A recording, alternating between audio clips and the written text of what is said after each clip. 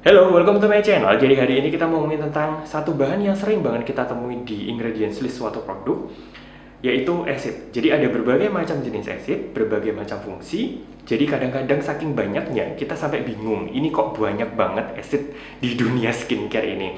Tapi daripada bingung, kita mau bahas satu-satu. Ada berbagai macam jenis acid, tapi yang paling sering kita temui itu adalah yang namanya hidroksi acid. Kalau misalkan kamu pakai double toning, jadi di double toning itu kan pakai dua toner. Toner yang pertama fungsinya untuk mengeksfoliasi, toner yang kedua adalah fungsinya untuk hidrasi. Nah, di toner yang eksfoliasi itu di, biasanya disebut dengan acid toner, itu memang bahan-bahannya adalah bersifat acid.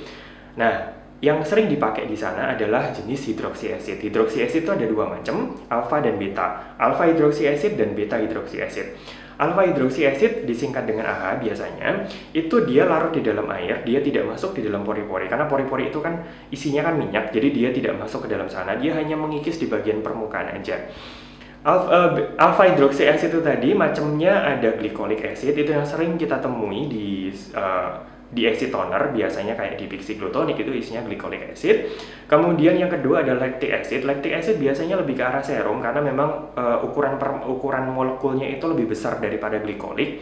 Jadi dia itu meresapnya tuh pelan-pelan. Jadi biasanya bukan ditaruh di uh, toner tapi biasanya ditaruh di serum. Contohnya ada beberapa jenis lactic acid di The Ordinary 5% sama 10%. Ada juga uh, Sandy Riley yang good jeans itu isinya juga lactic acid. Selain itu juga ada mandelic acid, kemudian malic acid dan uh, tartaric acid. Cuman ketiga bahan itu biasanya agak jarang ditemui. Kemudian jenis yang kedua adalah beta hidroksi acid. Beta hidroksi acid itu dia oil soluble, dia masuk di dalam pori-pori, dia membersihkan pori-porinya itu. Jadi fungsinya itu adalah untuk membersihkan pori-pori. Jadi kalau alfa tadi itu untuk mengikis permukaannya, jadi untuk membersihkan permukaannya. Kalau beta dia lebih ke arah membersihkan pori-porinya. Jadi cocok untuk kulit yang berminyak, yang pori-porinya tersumbat dan sering berjerawat. Jadi biar pori-porinya itu bersih. Uh, beta hidroksi acid BHA itu yang paling sering ditemui adalah salicylic acid. Biasanya di produk-produk uh, skincare Eropa, Amerika biasanya sering pakai salicylic acid, tapi kalau di Korea lebih suka biasanya betain salicilat.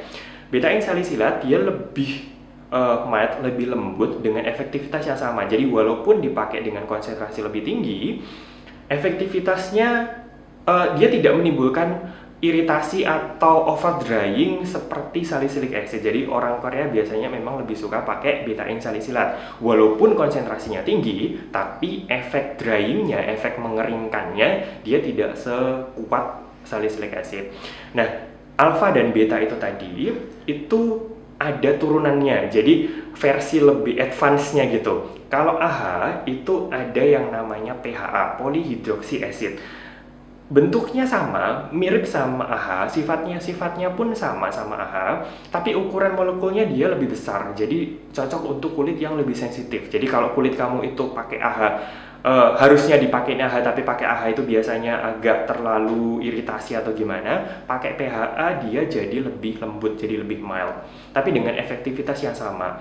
Bahkan kalau PHA dia punya efek antimikrobial, jadi sekalian untuk menghilangkan bakteri-bakterinya gitu Selain itu juga lebih minim fotosensitif. Jadi kalau AHA itu tadi mengeksfoliasi bagian permukaan dia punya efek fotosensitif. Jadi paginya ketika uh, kulit kita itu terekspos sinar matahari, ketika dipakein AHA itu jauh lebih sensitif, jauh lebih cepat terbakar daripada yang tidak dipakein AHA. Tapi PHA dia lebih tidak fotosensitif.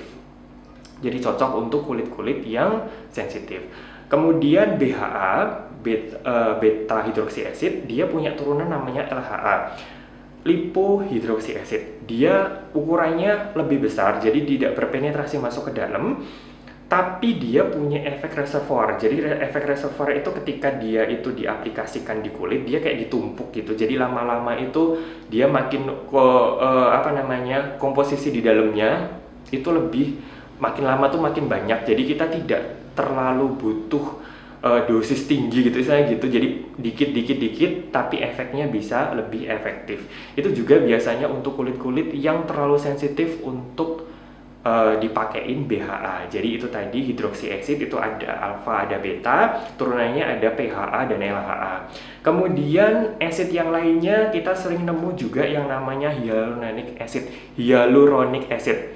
HA itu biasanya ada di toner, ada di serum, ada di krim karena memang fungsinya untuk adalah untuk menghidrasi. Dia itu adalah hidrator. Jadi fungsinya itu sebagai humektan. Humektan itu dia mengikat atau menarik uh, air dari sekelilingnya, dari lingkungan atau dari sel-sel kulit yang lebih dalam untuk ditaruh di permukaan. Jadi fungsinya itu adalah untuk menghidrasi daerah permukaan. Fungsi utamanya adalah itu. Tapi dari efek yang membuat kulit itu jadi lembab, otomatis efek lanjutannya adalah kulit itu menjadi lebih sistem perlindungannya jadi lebih bagus, recovery-nya juga lebih oke, okay, lebih cepat. Kemudian juga kan tubuh kita kulit kita itu kan dapat uh, istilahnya itu kayak trauma atau uh, kerusakan dari fisik dari uh, kerusakan fisik gitu ya dari goresan atau kekuat, uh, kerusakan fisik yang lainnya kemudian dari bakteri bakteri yang masuk kemudian juga dari uh, trauma kimiawi jadi ada beberapa zat yang memang bikin bikin iritasi intinya gitu. Nah, si hyaluronic acid itu tadi fungsinya adalah untuk membuat recovery-nya dari dari efek kerusakan itu tadi lebih cepat dan lebih baik. Jadi makanya hyaluronic acid fungsinya wajib dimasukin di setiap bagian itu tadi karena memang sangat vital di kulit kita. Selain itu dia juga masuk di yang namanya natural moisturizing factor. Jadi natural moisturizing factor itu adalah bahan-bahan yang berada di alami di permukaan kulit kita fungsinya adalah untuk membuat kayak semacam skin barrier function kita itu lebih oke okay gitu lebih bagus lebih optimal nah memang kita tuh tubuh kita sendiri kita punya uh, memproduksi hyaluronic acid tapi ada beberapa uh, kondisi yang membuat hyaluronic acid kita itu kurang jadinya kita butuh tambahan itu tadi fungsinya adalah untuk menghidrasi untuk membuat kulit kita itu menjadi lebih lembab. Terus ada jenis uh, acid lain yaitu ascorbic acid. Ascorbic acid itu sering kita temui dengan yang namanya vitamin C. Vitamin C itu walaupun memang jenisnya vitamin C itu banyak, tapi pure formnya bentuk aktifnya itu adalah ascorbic acid. Ascorbic acid itu fungsinya pertama adalah antioksidan. Jadi tubuh kita itu sebenarnya bermetabolisme membentuk yang namanya radikal bebas dia itu bisa ganggu gitu loh. Nah, fungsinya antioksidan itu adalah mengikat radikal bebas itu tadi terus dibuang. Jadi kayak semacam tukang sampah gitu loh. Jadi fungsinya adalah membuat eh, sampah-sampah yang dihasilkan dari metabolisme kita itu dibuang, direaksikan supaya tidak mengganggu metabolisme alami kita. Nah, karena memang fungsinya itu adalah mengikat oksidan bebas, oksidan bebas itu kan bentuknya oksigen, ion oksigen.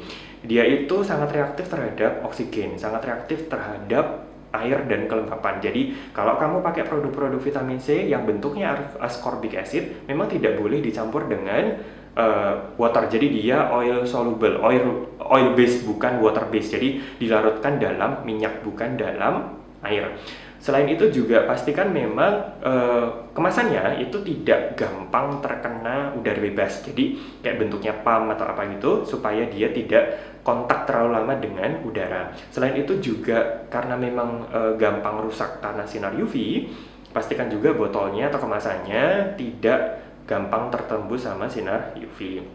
Selain sebagai antioksidan, si vitamin C itu fungsinya juga sebagai untuk meningkatkan produksi kolagen. Jadi kalau kolagen kita itu e, ditingkatkan produksinya, otomatis kulit kita menjadi lebih kenyal, lebih lembut, recovery-nya juga lebih bagus. Selain itu juga fungsinya sebagai brightening, beberapa hiperpigmentasi karena sun damage, karena kerusakan karena sinar matahari bisa diatasi dengan uh, vitamin C itu tadi. Kemudian acid yang lain kita sering nemuin namanya retinoic acid, cuman jarang sih skincare yang ada itunya karena memang bias. Jadi jadi retinoic acid itu adalah golongannya retinoid. Jadi kalau karena kamu kenal kenal retinol, terbiasa dengan retinol, maka bentuk pure formnya itu adalah retinoic acid. Cuman jarang karena memang itu biasanya diresepin sama dokter. Kalau yang kita sering temui itu namanya retinol. Jadi jarang sih ada yang namanya retinoic acid. Jadi tadi beberapa acid yang sering kita temui, hidroksi acid, hyaluronic acid, ascorbic acid dan uh, apa yang terakhir tadi retinoic acid. Jadi cukup sekian untuk hari ini tentang acid. Semoga bermanfaat, semoga nggak bikin bingung. Thank you so much for watching. See you.